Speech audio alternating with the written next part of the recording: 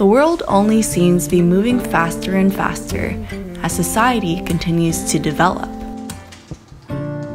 Expectations are going higher. Technologies are pushing us towards efficiency in all we do, and productivity is becoming a religion. Things must come immediately, conveniently, and quickly, whether it's an answer from a simple Google search or a package that arrives on our doorstep.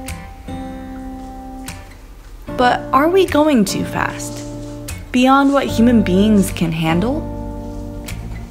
Is it possible to be too productive and efficient that it becomes a detriment more than a benefit to us? In light of this era of all things productivity and technology, the slow living movement began, advocating a shift towards slower paced living and cultivated self awareness.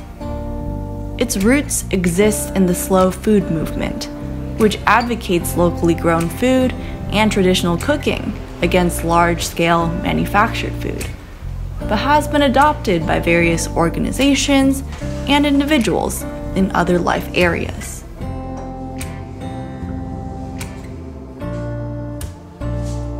If you're new to slow living, there's no need to transform your lifestyle overnight as it's a constant journey of being aware and taking small steps and breaks to allow yourself to be slow. Even if you're a busy student or a hustling working individual, take some of these tips into consideration slowly, as everything good takes time and we need to be patient with ourselves through any lifestyle change.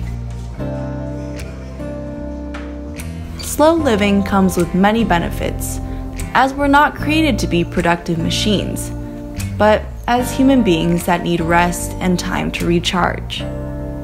And don't worry, you can still be productive when you live slowly with more intention, as you may observe that you'll function better with a clear mind and rest beforehand. So, with that, here are a few lifestyle habits to help you get started with living more slowly. 1. Learn to say no. We often pile on more work, commitments, and responsibilities in today's busy world to please others, or perhaps to boost our self image and worth.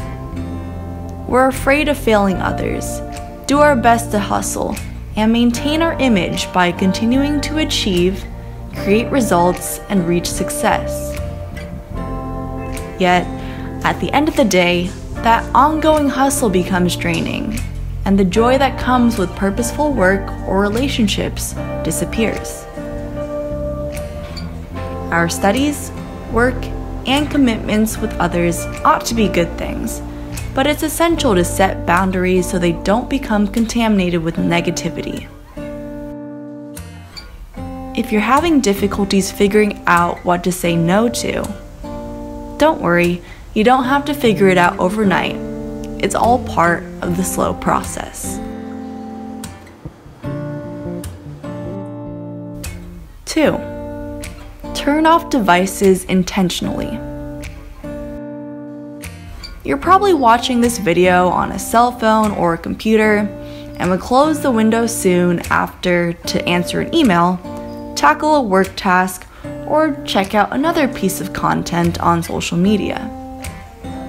Our lives are so embedded on our devices these days and are integral in how we work, live, and play, and we've become glued to our screens.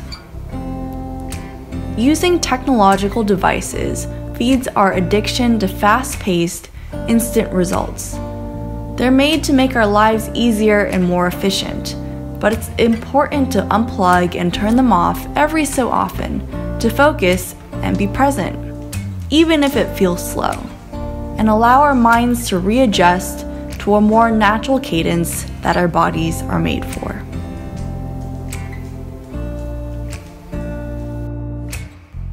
Three, go slow and take time with everyday actions. We've programmed ourselves to go at lightning speed as soon as we're awake.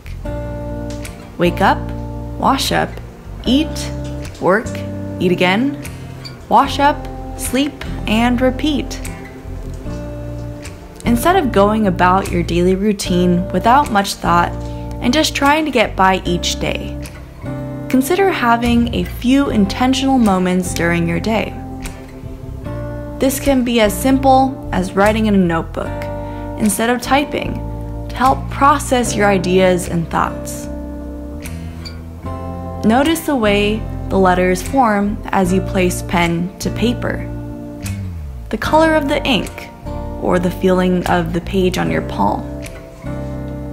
Or the next time you have lunch, chew a bit more slowly. Notice the textures and flavors that come with each bite. What are some things that stand out?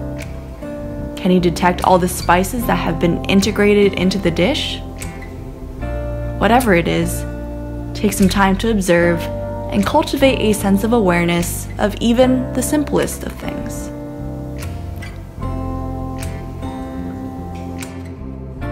Four, make no plans and set no expectations. If you have the luxury of having a free day on the weekend, try keeping an open schedule with no commitments. Let go of your expectations and all your thoughts about your potential plans. Keep it free flowing and do something that you enjoy.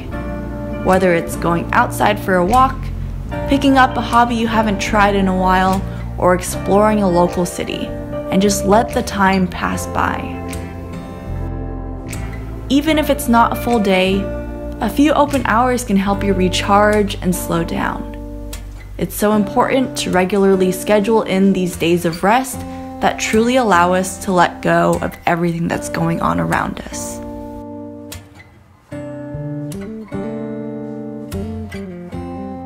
And last but not least, number five, try making and creating.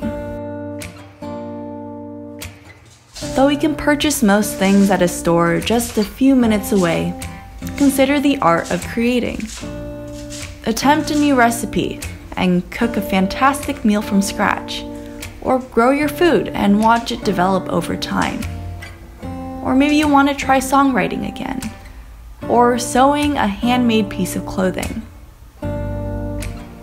Taking intentional time and space to do these things is an enjoyable process and you'll learn to have a deeper appreciation for the results after going through everything. Remember that so many good things in life take time. Whether it's the most profound marriage between an older couple, or the tree that begins to grow and finally bear delicious fruit.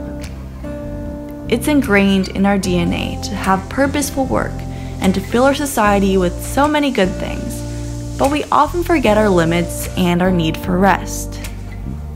So savor the moments and take some time today to observe and be present. If you're looking for a simple DIY, you can find a mini workshop on my Patreon page to help you slow down and create something from scratch today. I'm also filming a Q&A video soon on my Patreon, so if you'd like to get deeper into all things slow, simple, and sustainable, I'd love to have you join in on the conversation and we'll link the details below. As always, thank you so much for watching today's video and I hope you guys all have a blessed day.